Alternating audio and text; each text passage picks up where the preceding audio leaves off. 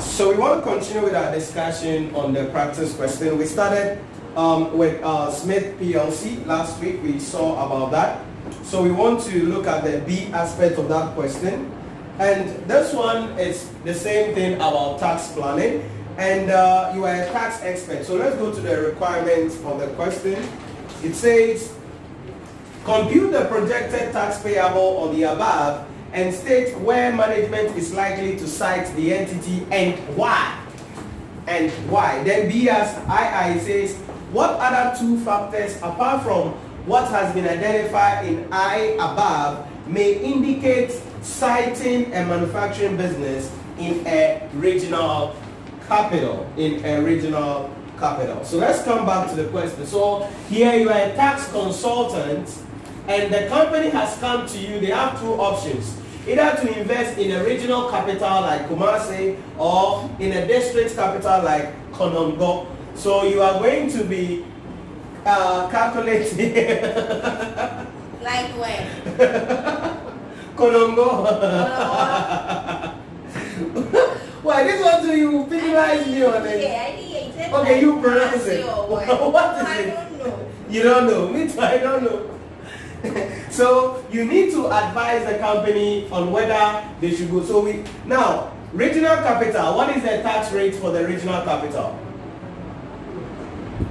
18 point what?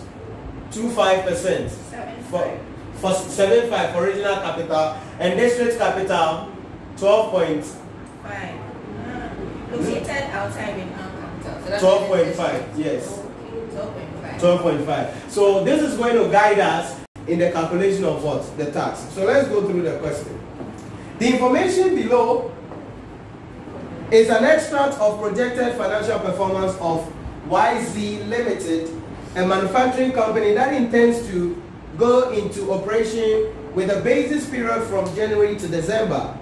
Management is contemplating operating in either Kumasi or Konongo, but the results are expected to be the same irrespective of the location. The following projected results from January to December year one are worth analyzing. So we are giving revenue 3 million, cost 1,000, 1.2 million, giving us a gross profit of 1.8, expenses of 1 million, and then net profit of 800. Then we are told that the following additional information is relevant. A building to, to be bought on first March 2000, in first March year one for how much? 400,000 Ghana cedis has been granted full year depreciation at a rate of 20% and same has been added to what? Projected cost above. So let's calculate the tax liability under the two scenarios. So XY limited, let me clean my line in the middle and have a bigger slot there. So computation of projected tax payable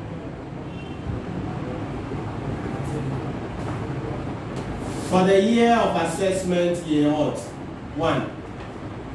Two uh, things, so we're going to be bringing them down. Kumasi on one side and then Konongo on the other side.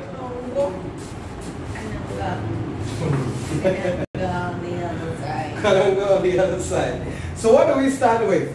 As always, we're going to start with the net profit. So what's the net profit respectively?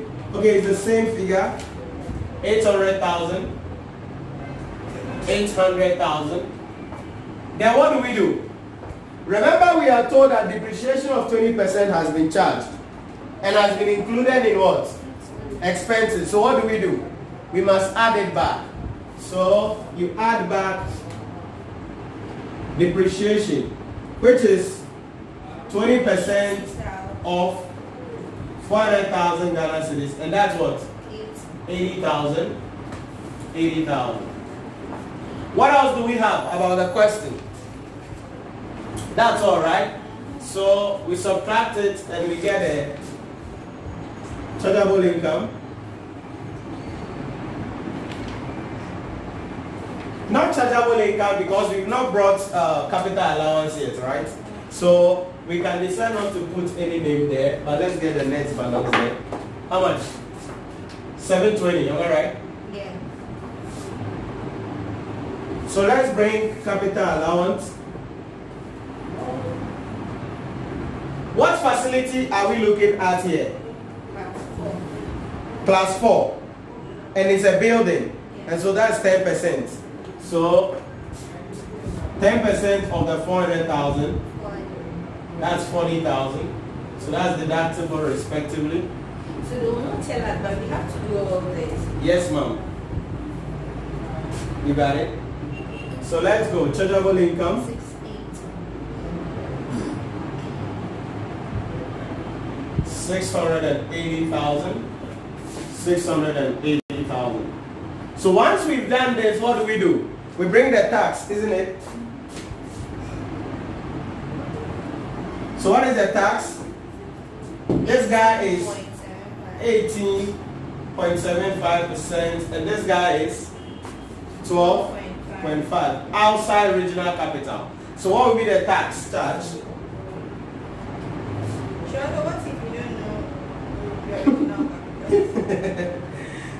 but hundred. what what you I One, two, one, Where? Here? Twenty-seven. No, Kumasi.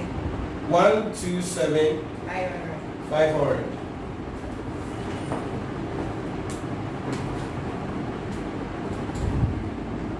Eighty-five thousand. Ah, did you subtract this guy? no, we added. Oh no. Oh, wait, Please, we are sorry for the inconvenience. Please clean and please you should also know that we are. So 880. 880. And that gives us 840. 840. 840. Mm-hmm. Tax charge. 150 minus 500. Mm-hmm.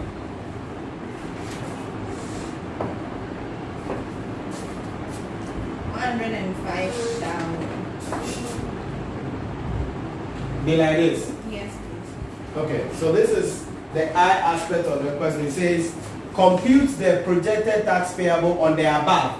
And the first aspect, you know. I don't see and state where it's likely to what? Site the entity and why. Into question, because I had three things in one. So from these two things, where do you think the company may, should go and invest as a tax consultant? Of course. The company will go to Konongo. Kanongo, why? Because it has what? The lower tax rate. Now, if the company, why do sh- should they go there? If they go there, they will be having a tax savings of how much? The difference of this minus So we this. have to talk about that. Yes. Because you are giving them an advice. That's critical.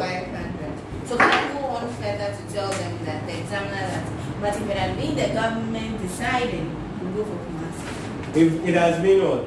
Was the government to decide for the company, the government to tell them to go Yes. But if the company is going, they will go for Konongo because that place has what? The lowest tax rate. So all that for four months. Yes. Then the B aspect is say I I. It says what other two factors apart from what has been identified in and above may indicate the siting of the location of the factory. What other factors? Apart from looking at the tax, what other factors do we consider?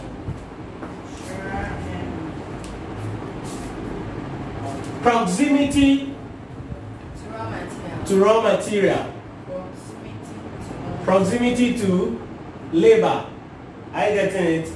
Proximity to market sometimes may be a factor that we need to what? Consider. Then proximity to power supply. So they said two, but I've given you four.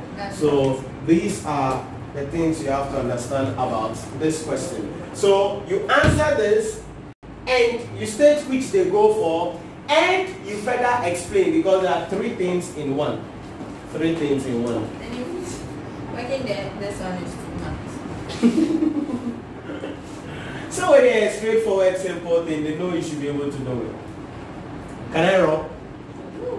Should I like to the, the C? The C? What is the C? Ghana. Hey. Ghana GRA. okay. Obi kan ga ya wanga za o ka Ghana GRA.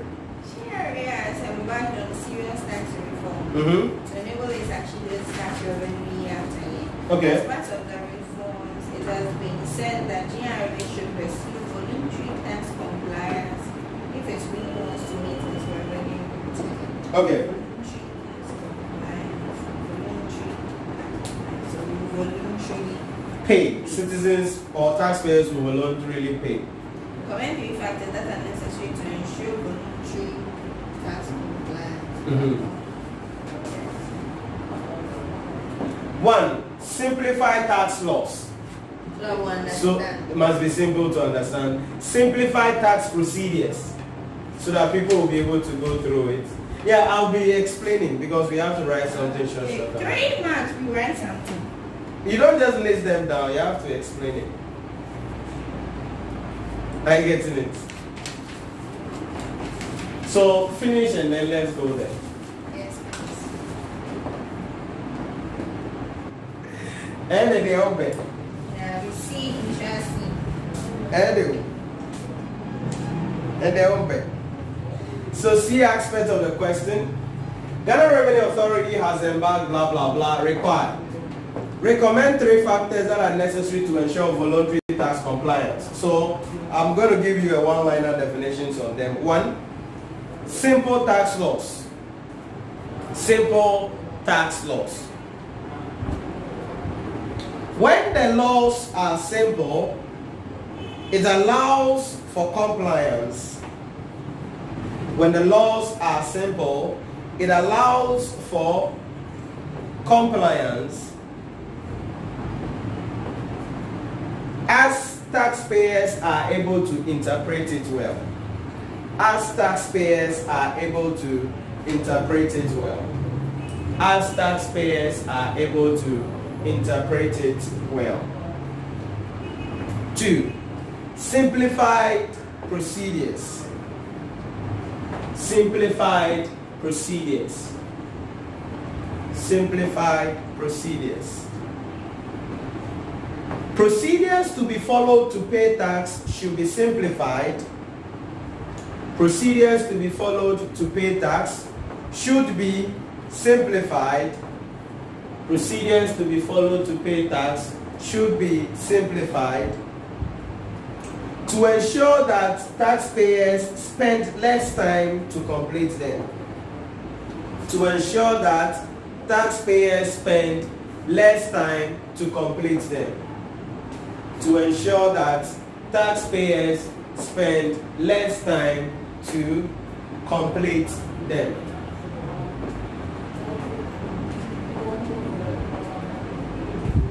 Three, tax amnesty. I hope you know tax amnesty. What is it about? I really love being that. Or not being charged penalty for non-payment of tax, so you can come and pay the tax. Are you getting the idea? So like you are owing, uh, but the law requires that we should have charged you interest on it, but we leave the amnesty so you pay what you owe, keke. Because here panka. Yeah, no, sir, the penalty. So by the unfound, sir. Where taxpayers are allowed not to pay interest and penalties on, when taxpayers are allowed not to pay interest and penalty, not to pay interest and penalty on non-disclosure of income on non-disclosure of income and in some cases taxes are forgiven and in some cases taxes are forgiven it allows for tax compliance it allows for tax compliance it allows for tax compliance. Next one, penalty and sanctions. Penalty and sanctions.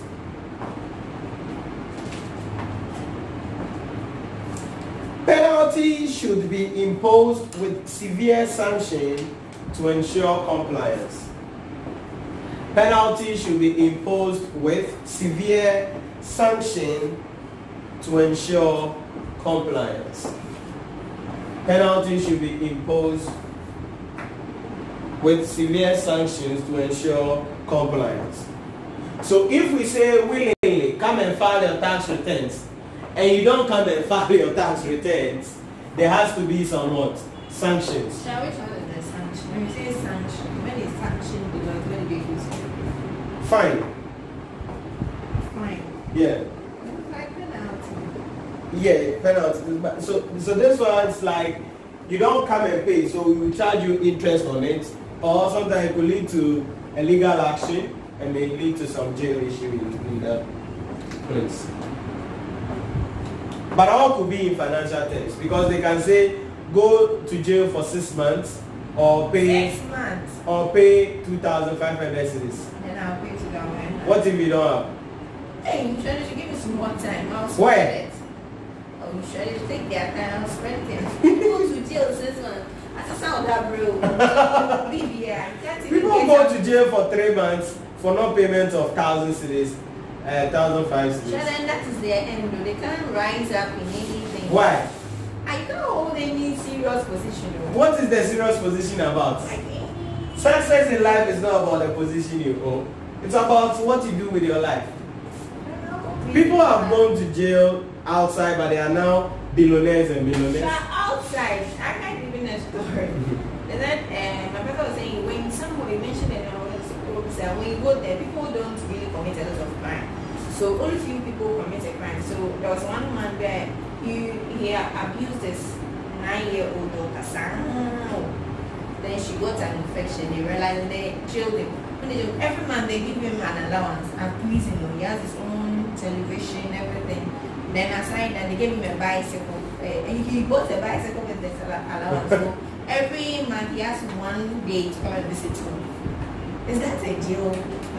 Eh, it's a jail, but it's a developed country, so they give you that comfort. Because the fact that you are in jail does not mean you are you are not you don't have the right to exercise certain things. So you can plead with the government that okay, yeah, I'm going to go to jail, but please, can you allow me that once every month I can go and visit my family? The judge can say yes, and so the uh, prison service will ensure that you come and visit You your wife. Or you can come, your for wife your wife should come and visit you, have sex with your wife. If the judge agrees, it because he has his own room, oh, TV and if everything. the judge agrees, it will be given. But uh, would you see- possess baby and the judge She no know he did this in Rica. She also wait to what if I'm going to prison in Ghana? Can I tell the judge how to go to that place? What to be that? I hope it will be my answer. So penalties should be imposed with severe sanction to ensure compliance. Last one, provision of taxpayers service. Provision of taxpayers service. Provision of taxpayers service. Services in the form of tax education. Services in the form of tax education provision of assistance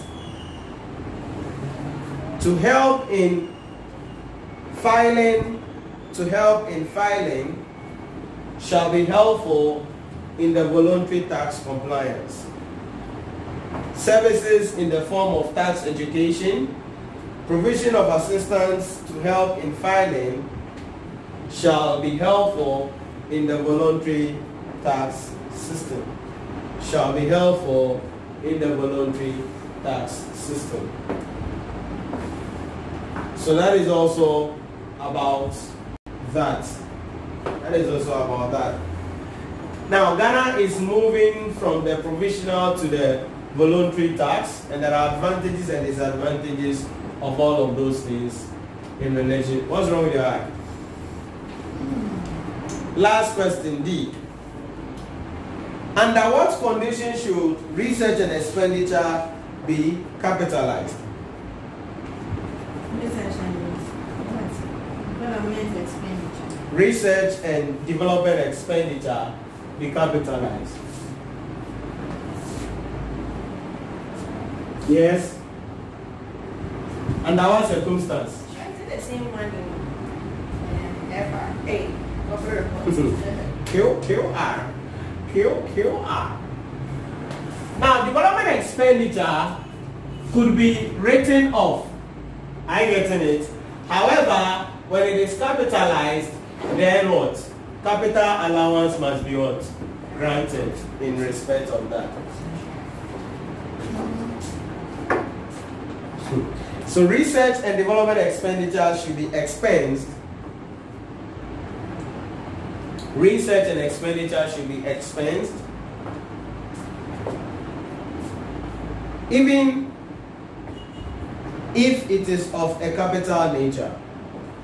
Even if it is of a capital nature. Even if it is of a capital nature. However, when R&D expenditure is added to the cost of an asset, however, when R&D expenditure is added to the cost of an asset, it should be capitalized capital allowance granted. It should be capitalized and capital allowance granted. However, when R&D expenditure is added to the to the cost of an asset, it should be capitalized and capital allowance granted. Should be capitalized and capital allowance granted. Be capitalized and capital allowance granted. Right, so that is it about that question. And that's the question one for what we are looking at. So let's go to question two. Question two is about mining operation and let's see how we go about that.